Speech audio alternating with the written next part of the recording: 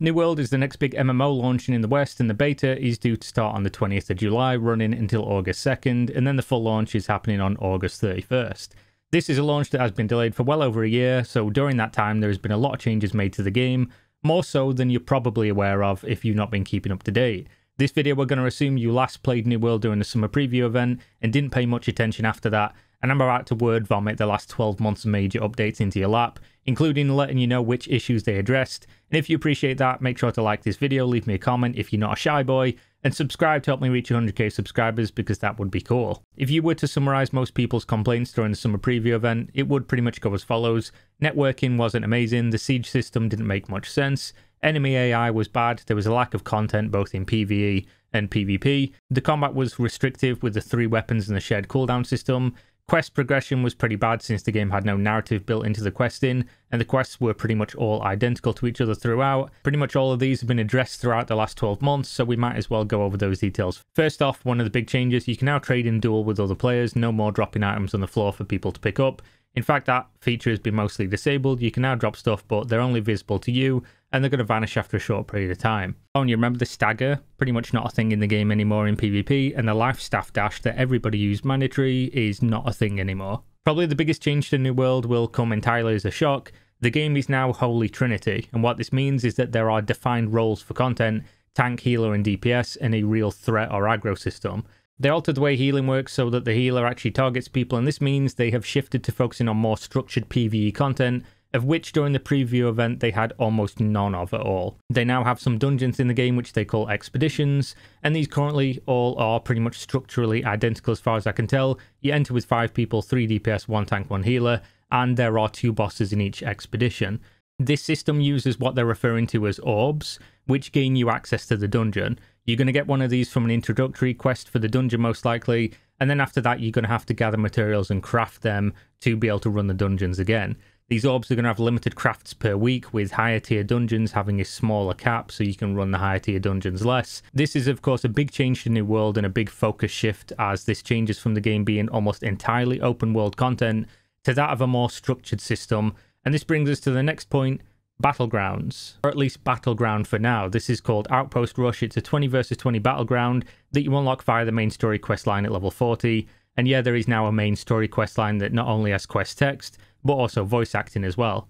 The battleground is fairly complex, so the basics are as follows. Two teams, two forts, one each. Multiple control points in between. Control these to gain points towards victory kill enemies to gain points towards victory, gather things to summon creatures to help you win, kill boss type creatures to help you win, gather materials to build upgrades to the stuff that you control, and there is more, but you know, you get the idea. In terms of the combat, the previous system we had was as follows. Each player could select any three weapons to use, and they gained experience while using that weapon in combat to level up a talent tree of perks and skills. You had three abilities that you could use on each weapon, but the cooldown was global across all three.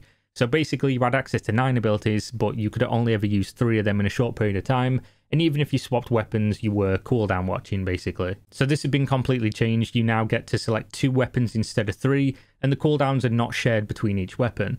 This goes about three layers deeper, also since weapons now actually have stat reliance. Every time your character levels up, you're going to gain attribute points, and at the level cap, I think there's 190 total. And then you're also going to get attribute points based on the gear that you equip as well each attribute does something different and they have breakpoints where you're going to gain specific perks both for in combat and for gathering depending on the attribute you're leveling. Each weapon has a different attribute reliance which will scale the damage based on which attribute it uses, which means you're going to want to use weapons that are in line with your character build.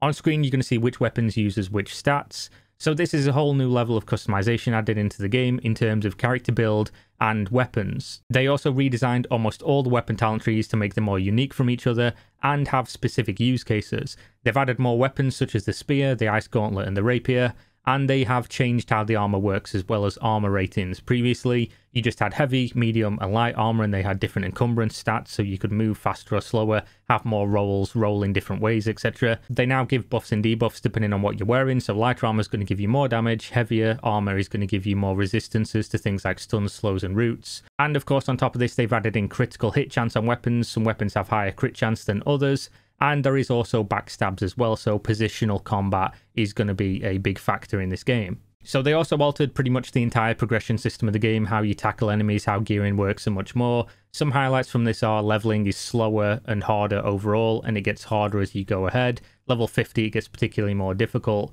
Enemies get additional buffs the higher level they are compared to you, so no more rushing to monsters that are double your level and farming experience as they have things such as they can't be staggered, they stagger you more, they have more armor, they have more damage, higher aggro range, and instead of just knocking you out so you can be revived, they will kill you immediately.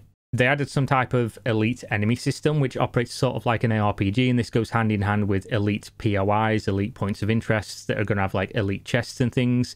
So there's elite enemies, champion enemies, and essentially the system is there are three current categories, such as offensive, defensive, and utility, with more to come later, hopefully. And each of these elites or champions are going to have one to three of these traits from these categories. So they're all going to play differently. They're going to be harder or easier depending on that. Uh, your typical ARPG thing. They also have named pieces of gear now. This is a big new change. So there's hundreds and hundreds of new named pieces of armor, weapons, trinkets, things of that nature. The crafted ones are going to require rare resources from various areas of the game, whether that's rare chest drops, rare dungeon drops, rare world drops, or rare gathering drops. All of these have unique stats and backstories. And speaking of crafting, they've made it much more relevant in most stages of the game, as well as removed the old salvage system, which kind of devalued crafting. Because essentially, you used to be able to just pick up items or get items from any kind of means and then salvage them, and you would get crafting materials you now don't. So basically, to get higher tier crafting materials, you have to actually have somebody gather and then process them, etc., etc. They've also made the crafting system so you can kind of mix and match goods and tiers of materials when you're making things. So you can have a varying level of quality depending on how much good stuff you want to use, whether you want to use some higher tier stuff, some medium tier stuff. And there is also a crafting cap on your skills of level 200 now. In terms of PvP content, the Siege system got a massive overhaul in terms of how selection for the wars is handled. The previous system was not very good, didn't make a lot of sense. It went a little something like this. Three factions, one faction owns a territory, other two factions can do activities in that territory and gain points, pushing the area into conflict. Once the area is in conflict, any guild could pay the wager cost and declare themselves as the potential vanguard of the war, meaning they would be the leader. The system would then roll a dice, and whoever won was the vanguard. This means guilds that contributed little to nothing to the war effort and guilds that didn't have the required strength to actually win the war could just randomly be chosen as the leaders, and then they could obviously select other people from other guilds to join them if they were in their faction. It was essentially so that you could do all of the work and get none of the reward, or you could do almost nothing and be rewarded for it. The new system tracks your guild's participation and assigns you with the percentage contribution, which is used as a weight when signing up for the war. So the more you contribute as a group, the higher chance you have of being chosen as the vanguard to lead the war effort and a chance to take over the territory. They also added in areas of the map that are in conflict where you can go and fight. These have a barrier that only allow 25 players per faction to participate at any given time, which means 75 player battles potentially in a semi quasi open world, I guess. They also made it so that open world PvP has a larger incentive. You now gain experience, faction tokens, and item rewards when you kill a player. I know this isn't loot based, so the player you kill doesn't lose items, they just lose durability like they did before. And this change removes the 10% experience bonus that you used to get just for being flagged, but not actually fighting anyone. So there's less passive bonus for just being flagged and avoiding people, and an actual incentive to go fight other players the longer you're alive and flagged, the more rewards you're going to get, and the more rewards people are going to be worth. So someone who freshly flags up for PvP will likely not give you any item drops, but someone who's been out there for a while will do. They've also reduced the durability loss on your gear by roughly 50%, which means it's going to be less of a pain in the arse to actually PvP people die and then be stuck not having repair kits by a pretty significant amount. Some other notable changes are that they overhauled a lot of the UI, the loading screens, the menus, everything generally looks better, it's easier to track quests, it's easier to know which quest is closer, the navigation is just overall generally improved. There's more fast traveling. They've also removed manual sprinting. It's now an automatic thing that just happens. Altered default keybinds to make more sense. Dodge is shift. Jump is space. Visuals have been updated a ton. Towns look different now. Not every settlement is identical. Armors and weapons have a ton more visual diversity. And of course, they added a massive title and achievement system that allows for you to do certain in game activities and be rewarded with titles, which they recently reduced the amount of to try and make titles feel rarer and thus more highly coveted. This doesn't touch upon most of the changes, honestly, because this video would be two hours long if I did. Just to illustrate that if you played New World at any time previous to the last 10 months or so, you're playing an entirely different game almost. They've listened to what people said, they've added tons of content, they've changed most of the game systems, and hopefully once we all get to play on July 20th, we're going to see a much more polished experience with a ton more content that's inarguable. They've added so much to this game at this stage. Whether or not the combat and everything feels good, the balancing, there are things we're going to have to look at. But I'm optimistic for the game, and they've they've made so many changes that I, am really looking forward to playing this personally. So you can come and hang out with me on my Twitch stream if you want when it launches. I will be playing for the first few days of beta. Probably not going to burn myself out playing too much since it is launching in like a month. But I'm going to check out the changes, see how everything feels, and how excited I should be for when it actually comes out. So thank you as always for watching. Social links in the video description. Leave a like, comment, subscribe, and as always, appreciate you all. Stay safe out there. We out. Peace.